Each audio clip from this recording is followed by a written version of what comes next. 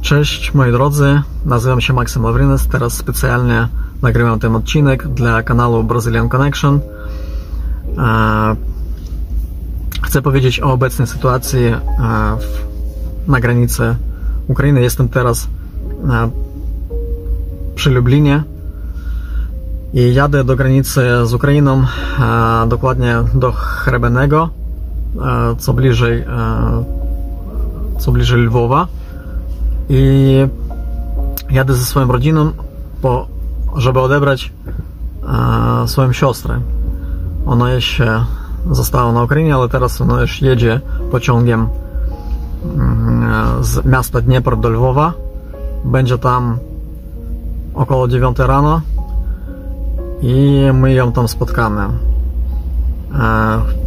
chcę powiedzieć, że i podziękować przede wszystkim Polakom, Polacy naprawdę są bardzo zorganizowani, pomagają nam. Jestem mega, mega przyjemnie zaskoczony i dziękuję Wam bardzo. Sytuacja, widzicie, taka, że mm, mało transportu z, z Ukrainy. Ludzie idą, e, ludzie idą na piechotę są korki po prostu kilometrowe.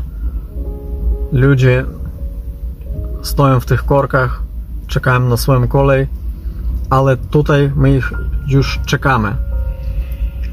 Czekamy ze wszystkim, z kocami, z jedzeniem, z wodą i przewozimy do punktów, których już jest wiele w Polsce, w każdym dużym mieście. Na przykład ja e, mieszkam w Warszawie, i w Warszawie e, już e, takich punktów kilka, gdzie przyjmują całodobowo uchodźców z Ukrainy i e, dają im wszystko, co im potrzeba.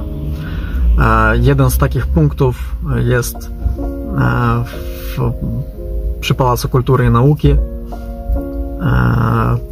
Wszystkie telefony i linki dodamy pod tym filmikiem, e, więc pomagamy, pomagamy. E, na razie taka sytuacja. Dalej, dalej będę też mówił, co, jak, jak, jak, jak będzie wyglądała sytuacja dalej. Ja będę e, to translował i pokazywał. Dziękujemy i trzymamy kciuki.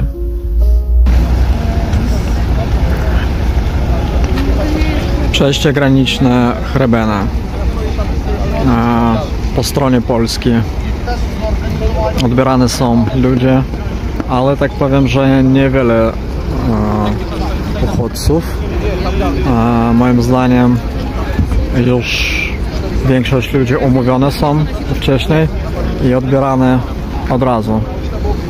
Też chodziłem, pytałem się, kto chce dojechać ze mną do, do Lublina, a to znaczy do Warszawy przez Lublin, ale, ale nikt się nie zgłosił, bo, bo, bo, bo po prostu wszyscy rozbierają już od razu.